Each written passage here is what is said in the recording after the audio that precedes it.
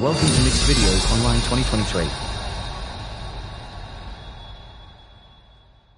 Subscribe now. It's all a matter of how you remove your head. You see, even I, un, there it goes, can take my head off. It's all a matter of how you do it. There's a whole set of mental commands that disconnect nerve endings and the like. If you just rip it off, fuel lines, neural connections and other vital bits are severed, as in the case of Cyclonus. Nine times out of ten it's fatal. Decapitation is a means of defeating an opponent by which his head is removed. Give me your face.